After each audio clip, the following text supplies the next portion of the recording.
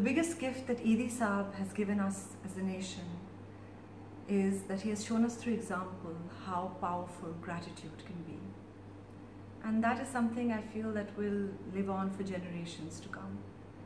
It will resonate with us for many, many years. All my life, I have seen Edhi Saab exemplify and personify the ultimate to give and to love without any agenda and with um, diligence.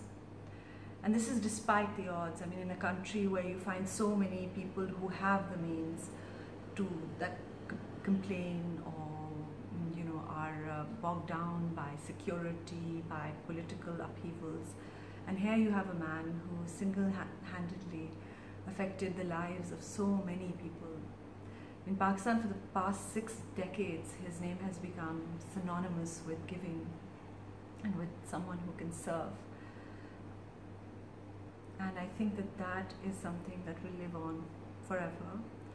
So the icon may have passed, but his legacy will live on forever.